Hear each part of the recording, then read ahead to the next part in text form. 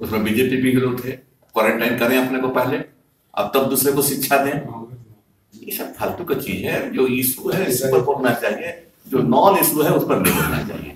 अगर कोई लोग बोले हम उनको कहे कि पाँच तुम भी तो यार थे, अब, आप भी तो थे विधानसभा में, आपको भी दिक्कत हो जाएगी। आप क्वारंटाइन करो, अब कहो कि हम तो क्वारंटाइन कर रहे हैं अपने को, आप लोग बाकी तो हम भी अपने क्वारंटाइन कर रहे हैं।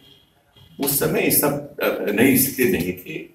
ये तो उनतीस तारीख के बाद ही व्यवस्था हो रही है है ना? तो उसमें इश्यू नहीं बनना चाहिए। हम अनुरोध करेंगे, अपील करेंगे भाजपा के लोगों से कि नॉन इशू को इशू मत बनाइए।